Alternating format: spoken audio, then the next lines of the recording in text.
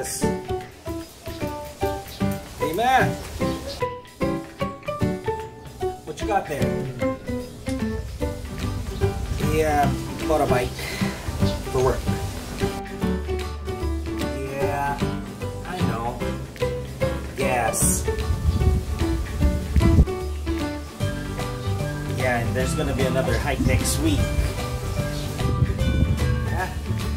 Why we switched to a smaller MC.